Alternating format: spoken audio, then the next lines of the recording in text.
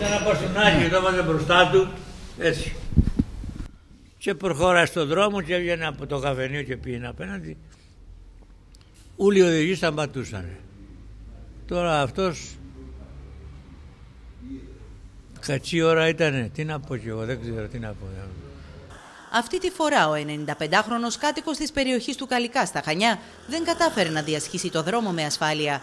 Βρέθηκε από τη μια στιγμή στην άλλη πεσμένος, στην άσφαλτο και εγκαταλελειμμένος.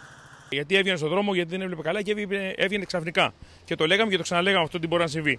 Όμως δεν ήταν σωστό αυτό που έγινε να εγκαταλειφθεί από το αυτοκίνητο αυτό που δεν ξέρουμε βέβαια ακόμα ποιο είναι. Αλλά από ό,τι λέει η τροχέα, ε, είναι θέμα ορών να τον βρούνε. Τον άνθρωπο τον ε, σκοτώσανε και έφυγε ο οδηγό. Αυτό ξέρω. Έφυγε λέει. Και που έφυγε θα την πληρώσει, θα τον ευρούνε. Το δυστύχημα συνέβη το πρωί στη λεωφόρο Σούδας, κοντά στα φανάρια του Καλικά, όπου τα τροχαία ατυχήματα και δυστυχήματα αποτελούν σχεδόν καθημερινό φαινόμενο. Αυτός που το έκανε, μεγάλη του γαϊδουργία την πρώτη ο πατέρας και ο πατέρας μου.